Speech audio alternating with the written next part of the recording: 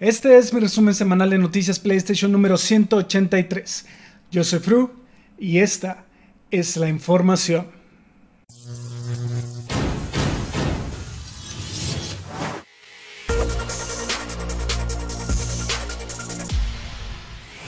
Stingbot Games ha anunciado que su plataformero de acción y aventura The Forbidden Arts llegará a PlayStation 4 el cuarto cuarto de 2019, mientras que en Xbox One, PC y Switch estará disponible a partir del próximo 7 de agosto. En The Forbidden Arts exploraremos un mundo mágico lleno de secretos ocultos, donde Phoenix se embarca en una aventura para descubrir y aprender más de sí mismo y cuál es el propósito de su vida.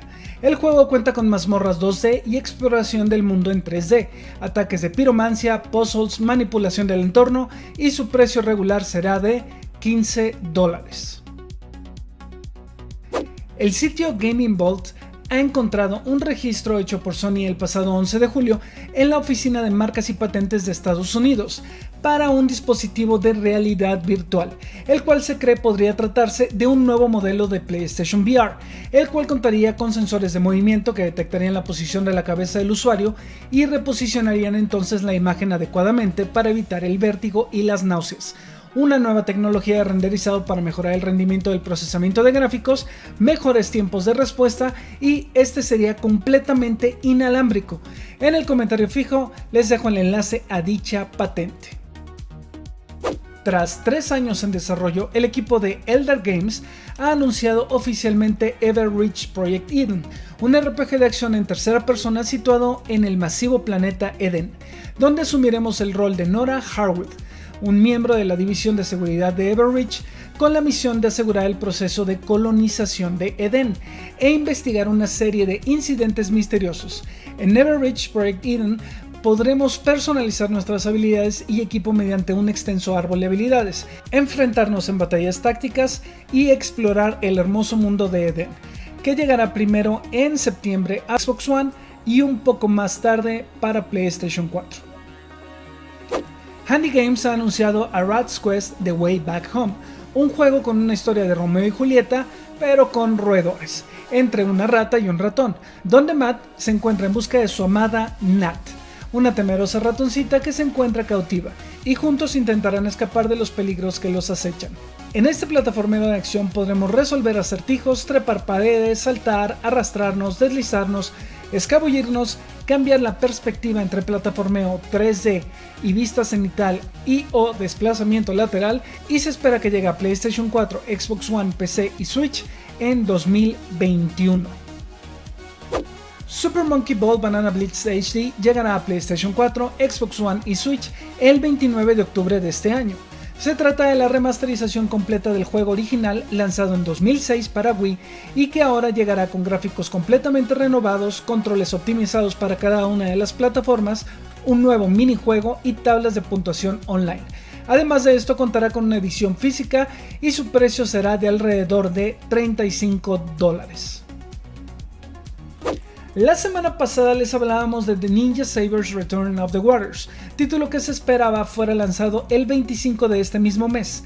Sin embargo, Ainin Games ha confirmado que dicha fecha es para Japón y Asia, por lo cual habrá que esperar hasta el 30 de agosto para poder disfrutar de este clásico renovado en PlayStation 4 y Nintendo Switch. El estudio mexicano de Intertum se encuentra trabajando y buscando financiar a través de la plataforma Kickstarter su juego Power Stealers, un título que nos remonta a los clásicos run and gun de los 90 en Power Stealers, nuestros protagonistas, Lars y Hannah, han formado un equipo de defensa interplanetario para luchar contra un ejército alienígena. Hasta el momento, Intertum ha logrado recabar 8.218 pesos de los 55.000 que buscan alcanzar antes del 17 de agosto a las 11 de la mañana, para poder así realizar su proyecto, el cual cuenta con una demo que pueden descargar directo desde el sitio de Kickstarter al que pueden acceder desde el enlace en el comentario fijo. Este estudio independiente cuenta con tan solo tres miembros, Carlos Gradilla, Juan Pablo Ortiz y Adolfo Schalk, y al parecer Power Stealers solo estará disponible para PC, pero vale la pena mencionarlo y por supuesto apoyar a nuestros compatriotas.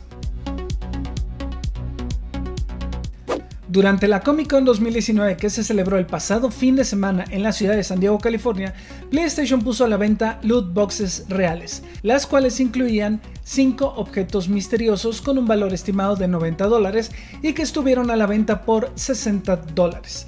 El pasado jueves durante el blog en directo busqué algo de información y me llevó un video que lamentablemente no es de estas cajas misteriosas, sino que de otras que se comercializan en distintos retailers. Y mis búsquedas de un unboxing no me llevaron absolutamente a nada, así que probablemente sabremos qué contenían hasta el próximo resumen de noticias. Rockstar ha anunciado que este martes 23 de julio llegará a GTA Online el Diamond Casino and Resort, donde los jugadores se podrán hospedar o incluso adquirir un penthouse personalizable con servicios de limusina, aeronaves, spa privado, estilista personal, bar y zona de fiestas, además de una membresía VIP del casino, donde tendremos minijuegos y actividades como póker de tres cartas, blackjack, la ruleta de la suerte, máquinas tragamonedas y carreras de caballos, con premios como fichas, dinero, ropa, RP e incluso el nuevo vehículo Trufa de Tracks. Nice America ha anunciado que el lanzamiento de The Legend of Heroes Trails of Cold Steel 3, que estaba previsto para el 24 de septiembre, se ha retrasado al 22 de octubre, pero de paso han confirmado que el juego contará con una demo previa al lanzamiento del juego.